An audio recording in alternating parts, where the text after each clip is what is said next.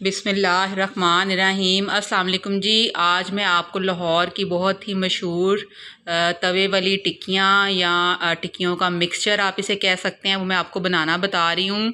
तो इसके अंदर जो कबाब यूज़ होंगे, वो मैंने आपको पहले बनाने बताए हुए हैं, दाल के कबाब और बाकी जो चीज़ें चाहिए होंगी, वो मैं आपको बता देती हूँ और उनका लिंक मैं इधर साथ लगा दूँगी। ये देखें, कबाब है मेरे पास। ये तकरीबन मैंने सात जो हैं, ये कबाब ले लिए हैं और मेरे पास ये फ्रोज़न है और आप इन्हें बनाकर फ्रीज़ कर सकते हैं और बड़े आराम से कभी भी आपको सालन ना समझ आए या अर्जेंट कुछ बनाना हो तो ये आप बना सकते हैं। मैंने तीन अंडे ले लिए हैं, इनके अंदर आप थोड़ा सा आपने नमक डालना है और थोड़ी सी कुटी हुई लाल मिर्च डालनी है और इसके अंदर आपने ये सारे कबाब जो हैं, वो डिप करके ऑयल में अंदर आपने फ्राई कर लेने हैं।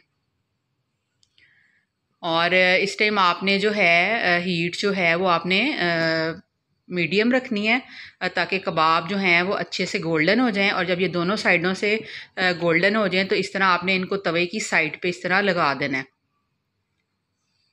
और जो बाकी अंडा बचा है, उसको आपने इसी ऑयल में फ्राई कर लेना है। और अंडे को भी आपने फ्राई करके साइड पे कर देना है। और अब मैंने बाकी ऑयल के अंदर एक प्याज मीडियम साइज़ का लिया है और इसमें एक टेबल स्पून कटा हुआ अदरक और तकरीबन एक ही टमाटर इस तरह बारीक चॉप किया हुआ आपने डाल देना है और इन सारी चीज़ों को आपने हल्का सा ऑयल में जो है थोड़ा सा इनको ट्रांसपेरेंट करना है।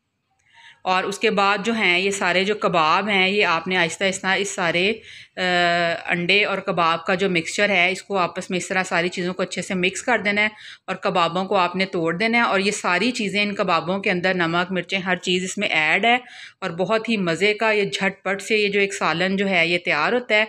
और बिल्कुल लास्ट में आपने इसमें कटी हुई हरी मिर्चें डालनी हैं और इसको आप दही और पुदीने या ज़ीरे वाले दही के साथ गर्मा गर्म रोटी के साथ इसे खाएँ और इन्जॉय करें। बहुत ही मज़े का बनता है। ज़रूर बनाइएगा। इन आपका भी बहुत अच्छा बनेगा। ओके जी। अल्लाह हाफिज़।